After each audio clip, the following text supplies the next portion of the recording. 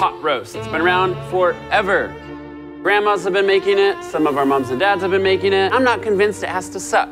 So today I'm gonna show you a few amazing tricks. It's time to level up your pot roast.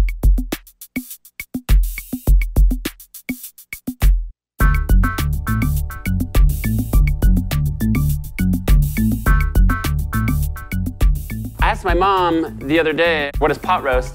She said it's chuck with potatoes and carrots, and you put it in a pot and walk away. So here's our chuck. I have that, so I won't disappoint her. However, if you know your cuts of meat, uh, you'll know that you can pretty much braise or pressure cook any tough cut. So I've got a few tough cuts here. These are veal shanks, ossobuco. Short ribs are everywhere these days. I love them for barbecue, for braising, um, even just cutting them thin, like kalbi style. Uh, but today, since you can find the chuck roast anywhere and everywhere, I'm gonna show you how to do an amazing upgraded pot roast with chuck. Our veggies. We're not going to put them in the beginning with the meat like you normally would. We are going to wait until the end because I want my potatoes to be firm but not mushy and falling apart carrots nice and bright orange and sweet, and I want my celery to be bright green and snappy and super fresh. However, the onions, and I brown them when I sear the meat and pressure cook them with the sauce. All my veggies for my pot roast. Let's talk about our equipment. So we're gonna use a pressure cooker because it's the fastest way to get an amazing tender pot roast.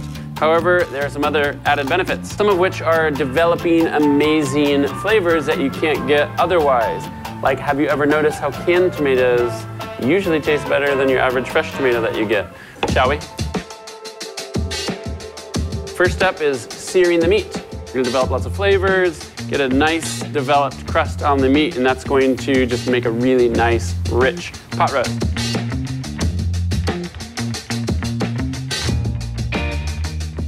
Uh, like I said, our onions, we're gonna caramelize those in the sauce. Here's the other thing I don't know if grandma used to do, engineered by scientists themselves straight out of the Midwest, ranch powder. Basically just like spices and MSG, it's crazy good. You can add whatever you want, like we said. I'm gonna add a little bit of A1. It's got a lot of nice flavor in there. Here's my magic sauce beef broth, buy a low sodium one or a sodium free one and concentrate it. So just put it in a pot and boil it down until it's glazed. Put the meat in. And then we bring it to pressure.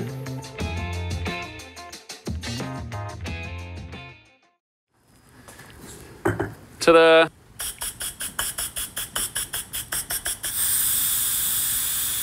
Usually I don't do this. I just walk away and go do something else. Ready for the big reveal? Ta-da!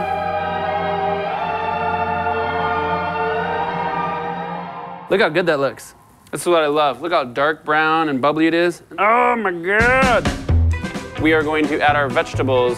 Do, do, do, do, do, do, do. And we're gonna pressure cook our carrots and our potatoes for about five to eight minutes. Gonna come back to pressure immediately. Alrighty.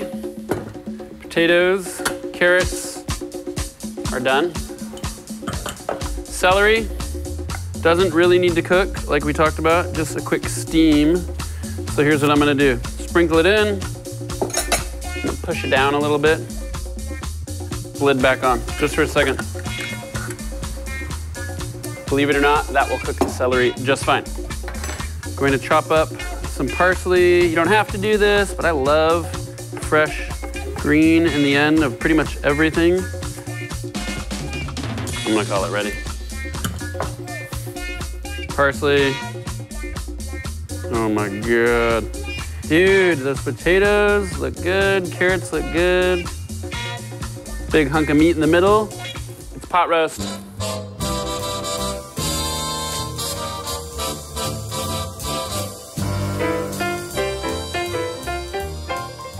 You know what I like about this right now is it looks super not fussy, you know, and it isn't.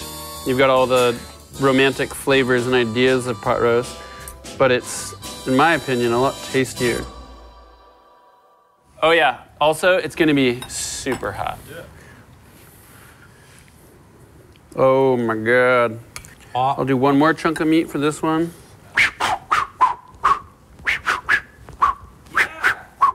Roast.